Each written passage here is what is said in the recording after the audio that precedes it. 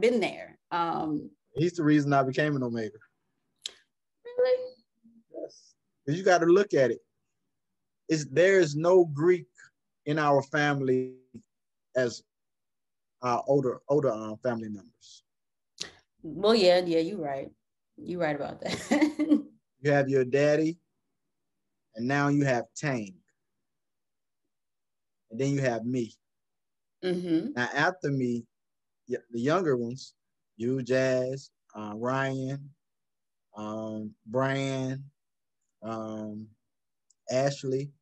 hmm That's it. Because you got to realize our family didn't go really go to college. Right. And I, I was thinking about that too. And that's why I said, like, even in that, I know. And then you not just going to college, but you went, you went away. You like, you didn't stay right. You know, you didn't stay close to home. You you went further away to go to college. So it's yeah, you're right. It is. It's growing. in Yeah, all the younger cousins are going to college. Like yeah. um, Ja'Cory will graduate in December. My nephew, Mm-hmm. he graduated in December. Like Lante graduated. Like a lot of them follow my footsteps and went to Benedict. Yes. Ashley graduated from Benedict. Latte graduated from Benedict. Ja'Cory finna graduate from Benedict. Um, I don't know who else is coming. Well, I believe it's gonna be some more Benedict legacies.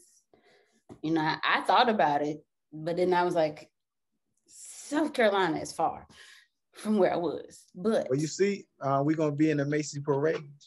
I saw, I saw. so y'all y'all keep sleeping on BC. I'm not sleeping on it. Like I said, I I would without even really knowing anything about it, I was talking about Benedict because like my cousin go to Benedict.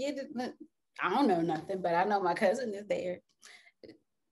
There's nothing like a HBCU, and the world is starting to acknowledge. Oh, most definitely. I wholeheartedly agree with you there.